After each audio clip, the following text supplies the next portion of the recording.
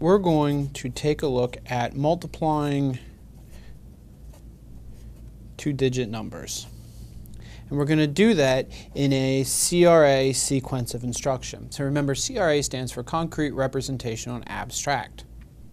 And that is the way that students are making sense out of the problems.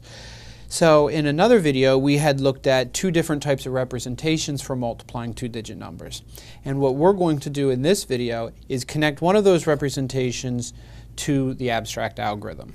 And that's important because as we teach across this sequence of instruction, we have to make explicit connections for students so they see how the thinking stays the same even though the way they're representing the problem changes. Let's take a look at the problem 32 times 13.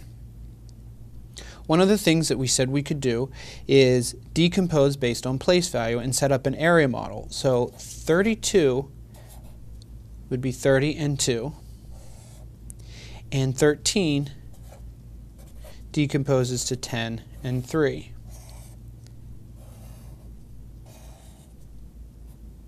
And now we can set up our area model and we can do our composition. So tens times tens was hundreds, and 3 times 1 is 3, so that would give us 3 hundreds. Tens times 1 is tens, and 2 times 1 is 2, so that's 2 tens. 1 times tens is tens. 3 times 3 is 9, so that's 9 tens. And 1 times 1 is 1s. 3 times 2 is 6, so that's 6 ones and then we could add up these partial products and that would give us 300 110 when I add the 90 and the 20 and 6 which would give us 416 so that was one way to multiply 32 and 13 when we wanted to use a representation. So how are we going to connect this model to the algorithm? Because ultimately we like students to be able to work with the algorithms because they're the most efficient methods. That's why they exist.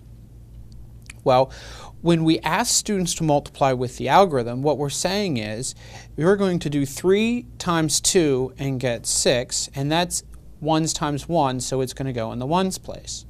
Then, after we do 3 times 2, we're going to have them multiply 3 times 3.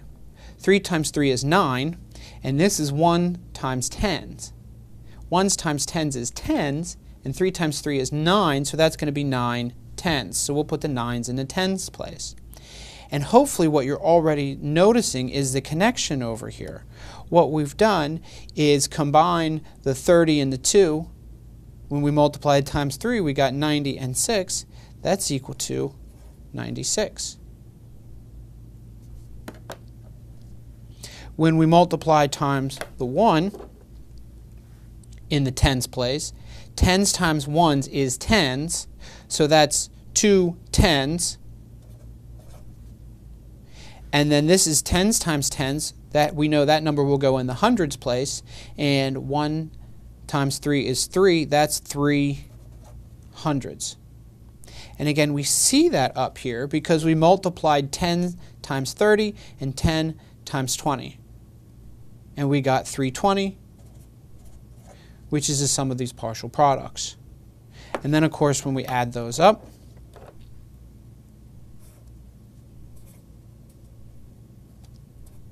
we get 416, our same final product.